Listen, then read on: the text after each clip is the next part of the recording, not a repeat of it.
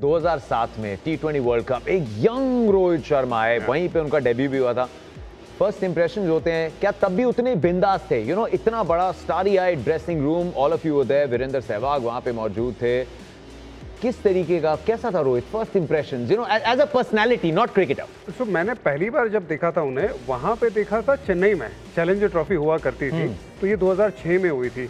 आ, वहाँ पे जब पहली बार समझ में आया कि एकदम रिलैक्स सा बंदा है ये कुछ उनकी जो डायनामिक्स थी वो अपने काम करने की मेहनत करने की भागने की थोड़ा सा लेजी एलिगेंस की तरफ़ थी। मतलब आप बॉर्डर लाइन उनको लेजी कह सकते थे उस तरीके के लड़के थे पतले से थे फिट थे लेकिन जब फील्डिंग करते थे तो ज़बरदस्त करते थे बल्लेबाजी में ना भाई वो ऐसा लगता था यार इसके पास ना वाकई में उसके पास अतिरिक्त टाइम है। और तब से बात शुरू हुई थी टैलेंट के बारे में। ये टैलेंटेड है टैलेंटेड है। और लगभग सत्तर पचहत्तर इनिंग लग गई थी उन्हें वो अपना टैलेंट दिखाने के लिए। लेकिन वो जब दिखाया, उसके बाद पीछे मुड़ के नहीं देखा। और मैं पर्सनली तब से लेके आज तक मैं पहले उनके साथ खेला हूँ तो उनके साथ एक मैं टीममेट था, लेकिन मैं फ़ैन हूँ उनकी बल्लेबाजी का। क्योंकि वो जिस तरह से वो बल्लेबाजी करते हैं यार भाई मज़ा आ जाता है। फास्ट बॉलर को इतना बेहतरीन पूल वर्ल्ड क्रिकेट में आप निकाल लीजिए प्लेयर नहीं मिलेगा। जितना ज़बरदस्त पुल शॉट लगाते हैं रोहित शर्मा क्लास शॉट खेलते हैं बहुत मज़ा आता है उनकी बल्लेबाजी देखने में।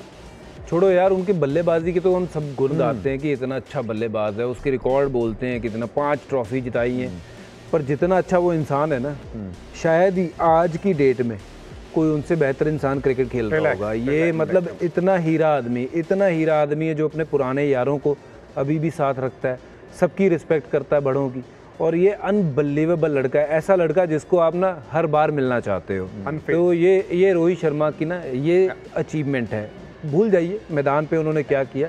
असली अचीवमेंट ज़िंदगी में ये कि आप दूसरों के सामने कैसे पेश आते हो कैसे उनको इज़्ज़त देते हो। इसलिए रब उसको नवाज़ रहा है और भी इज़्ज़त के साथ। तो बस लगे रहे मेरे जान, छाता रहे और इस बार भी कप। मुंबई के नाम ये देख नीला, तेरे लिए।